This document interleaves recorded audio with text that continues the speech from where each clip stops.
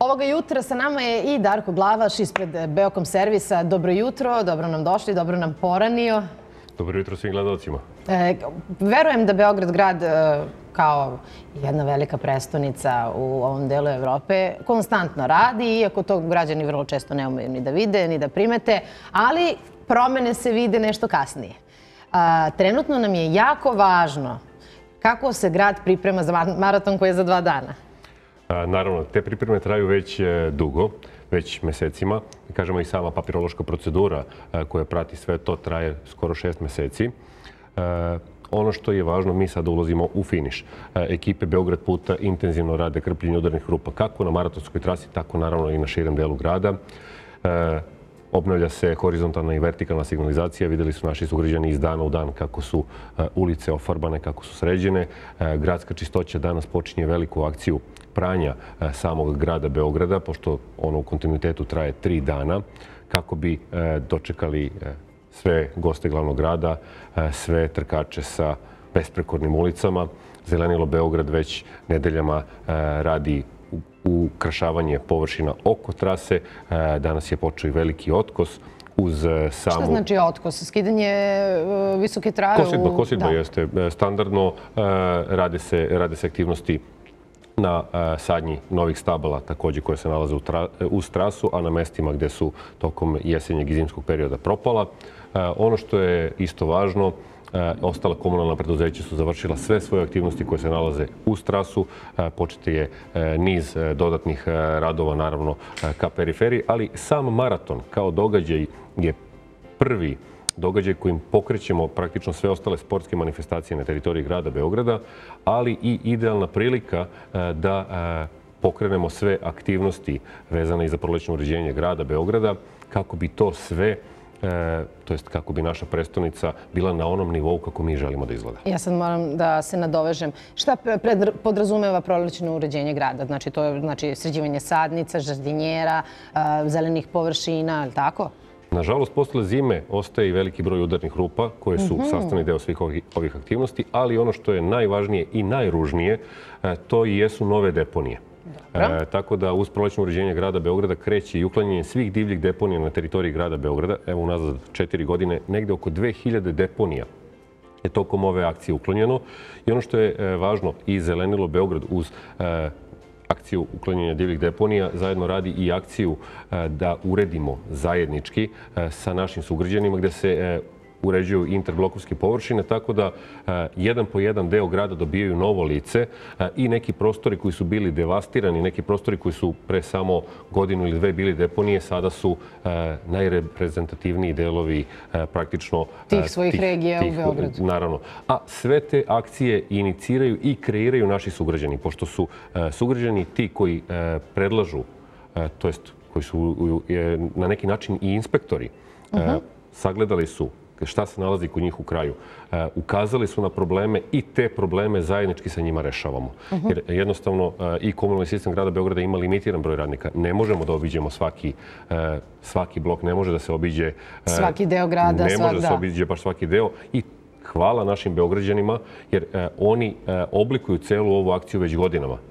I naravno pokazalo se da lokacije koje sredimo zajedno sa stanovnicima tog dela grada, to su lokacije gde se više ne stvore divlje deponije i to su lokacije koje vremenom prerastaju neke nove oaze. Je to važi i za neke druge, da kažem, aktuelne probleme u tom momentu?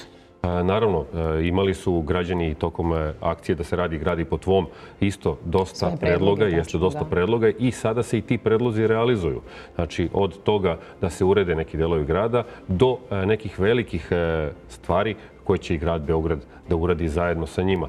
E, zašto to kažem? E, ne pripadaju svi prostori gradu Beogradu. Ima određeni prostora koji pripadaju Republici Srbiji, ima prostora koji pripadaju gradskim opštinama, ali ima i prostora koji pripadaju samim stanarima. Na ovaj način... A, da. To je, to je ono da, da, čemu se priča nadležnosti. Vlasnički list je bitna stavka tu, da. Nadležnost, ono kad da. kažu neko nije nadležan. E, e, mi se trudimo da baš na ovaj način napravimo da e, Kogod je nadležan, zajedno učestvuje sa u sugrađanima, zajedno sa sugrađanima i njima pomognemo. Znači, od samih onih akcija uklanjanja e, divljeg deponija, to je uklanjanja kabastog smeća, pa do, e, do akcija da zajednički uredimo nešto što pripada e, njima ili što pripada celom bloku. Jednostavno, pravimo lepši Beograd iz dana u dan. Moram da pitam sad dve važne konkretne stvari. Prva je, stiglo mi je pitanje na Facebook. Ne znam kako su znali da ćete ovog jutra biti naš gost, ali to se desilo juče tokom jutra.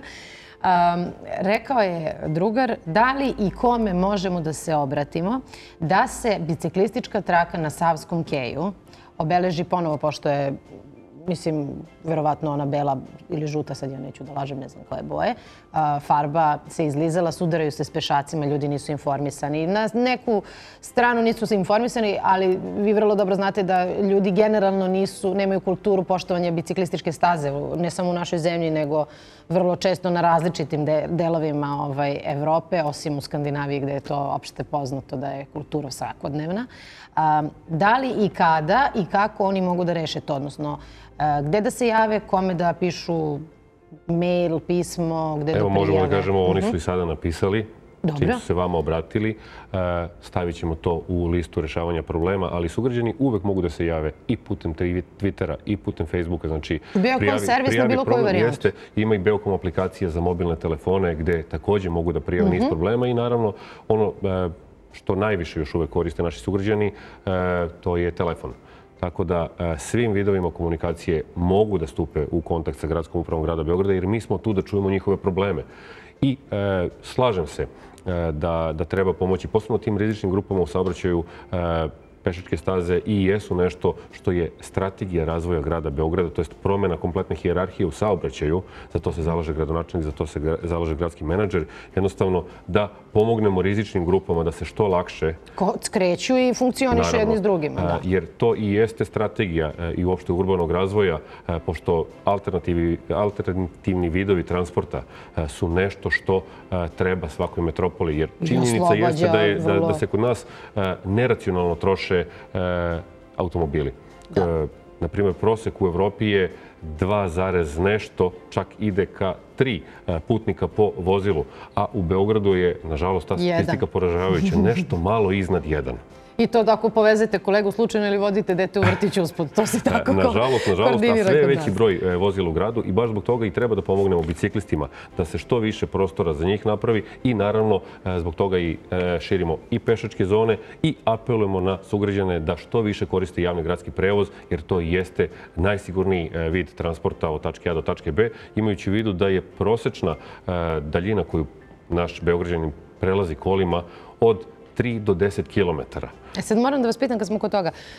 Abnormalno mnogo već smo definisali, koristimo vozila. Nešto više možda koristimo GSP zato što nismo svi u mogućnosti, ali čini se da svako ko ima automobil, automobilom putuje, bez obzira što mu je možda i brže, efikasnije i funkcionalnije da putuje gradskim prevozom, neće ljudi da se gužvaju, da se znoje i svako ima svoje opravdanje. Ne ulazimo u to, komfor je komfor, niko neće da se odrekne istog. A, bicikl je nešto što je alternativa, motor je nešto ili da kažemo neka, neki manji vid motora, sad ja ne znam kako se pravilno kaže, da li je moped ili nešto slično, ali ovaj, kad si kupim mali motorin, najče ću letit s njim, jel tako? Ali ono što a, sigurno u Beogradu a, nije toliko zastupljeno, a postalo je sve aktuelnije, jeste bicikl. S tim što Beograd je malo, da kažemo, brdovitiji nego neki ostali skandinavski gradovi kojima se bicikl koristi kao svakodnevno ovaj, sredstvo prevoza. Ako uporedimo sa nekim gradovima u okruženju, e, Beograd je tu negde na sredini. Mhm. Ali pogledajte da imamo veće delove grada koji su ravni. Naravno, znači Beograd jeste e, na veliko, na velikom broju da. brda, e, ali sve te distance koje se prelaze Dobro. su relativno kratke. Tako da e, bicikl i jeste najbolji, najbolji alternativni vid e, Prevoza. od tačke A do tačke B. E, To je najavljivo i gradonačelnik da se, evo, parking servis je već počeo tu praksu, da se na nekoliko garaža ostavi Da, da, e, ima i vozilo, parking za ostavi vozilo jasno. i da se nastavi dalje biciklom.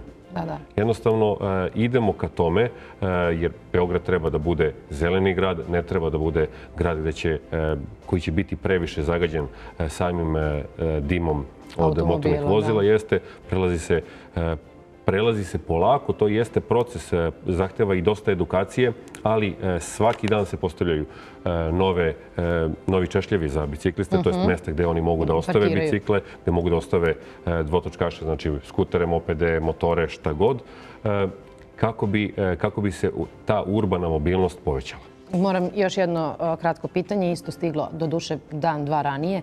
Radi se trim staza na Zvezdarskoj šumi, odnosno u Zvezdarskoj šumi je počela sa izgradnjom da, ovaj, trim staza. Stali su u nekom momentu. Da li je to sad zaustavljeno bilo zbog kiša i vremenskih uslova koji su u zadnjih 3-4 dana baš onako prekinule radost ovaj, našeg grada, ali ovaj, da li možemo da znamo ili gde da se raspitamo kada će to biti gotovo, da ne ostane tako jer su sad to raskopani delovi koji moraju da budu rešeni. Dostavit ću vam tu informaciju ja putem ili maila ili Facebooka, ali jednostavno znači svi razvojni projekti koji su uh mhm. -huh. počeli, e, svi su završeni uh mhm. -huh. e, i ono što je najvažnije, znači sve je više sportskih sadržaja, sve je više parkova. Uzmite samo za primer Sjajno, park da. Pušće, E, koji evo i dalje idu radovi. Naravno, Ali je fenomenalan za upotrebu. Kada je kiša, tada e, ne, ne stopiramo sve zemljane radove, ali e, neke zemljane radove koji bi dalje otežali buduće neko izvođenje radova, posebno Da, dobro, kad se izliva beton, beton ne može da pada kiša i tako neke znači, stvari, da. Sama, sama dinamika e, radova nije ugrožena Dobro. E, samim vremenskim uslovima jer e, i računa se na nekoliko dana u plusu i minusu koji se relativno lako nadoknade, posebno kada su ti zemljeni radovi u toku, ali jedan deo aktivnosti se ne izvodi kada su padavine kako bismo izbjegli dalje prljenje grada, posebno na mestima gdje još uvek kada se radi o Zvezdarskoj šumi. Da bi se sve to obezbedilo i završilo, e, morali bi da dovedemo i nekoliko e, vozila za pranje pneumatika na radnim vozilima. Samim tim Pa to je sad već komplikacija koja se da. Rada. Na ovaj način, na ovaj način nekada je bolje sačekati dan ili dva da prestane kiša i da se dalje nastavi sa aktivnostima. Znam da žuriš. To uopšte nije... Kad počinje dan, već u 7 sati mora se bude na radnom zadatku. Samo kratko. U subotu, ujutru, u 9 sati se zatvaraju ulice u centru centru grada, kako teče trka. Od petka uveče zatvaraju se ulice. Od petka uveče, znači od 22 časa, već počinju izmene na linijama javnog gradskog prevoza. Evo, ja ću reći, to je sve ono što se tiče oko Gradske skupštine, oko Trga Republike, oko Kolarčeve ulice i oko e, Terazije. Trasa se sukcesivno zatvara od 9 časova. E, kako ide i maratonski i polumaratonska trka i trka zadovoljstva e, i normalan režim saobraćaja se uspostavlja u 16 časova. Osim u zoni cilja gde će se normalan režim saobraćaja, znači na terazijama, uspostaviti oko 19 časova. Naravno, potrudit ćemo se kao i prethodnih godina da to već bude oko 17, 17 i 30, da bi što manje e, sam maraton uticao na život naših sugrađana, ali trasa će biti u kontinuitetu zatvorena nekih 5 sati, tako da najbolja alternativa i jedina prava alternativa je autoput. Autoput ili bicikl. I naravno, bit će lepo vreme, bit će lepo vreme. Pozivam sve Beograđane, ukoliko ne mogu da učestvuju u nekoj od trka ili u trci zadovoljstva, da izađu na gradske ulice i da, pozdrave, da pozdrave sve učesnike u takmičarskom 30 godina ja nekada sam trčala maraton i to je bilo divno, moram da priznam. Jedno sam istrčala skoro 40 srećom, bili sam, bila sam još uvijek na Novom Beogradu, pa sam se vratila kući, inače bi bilo. Ali ovaj, trčala sam 21 i moram da priznam da je to stvarno jedno svoje, svojevrstno zadovoljstvo. Ali šta zna dete šta je kilometar?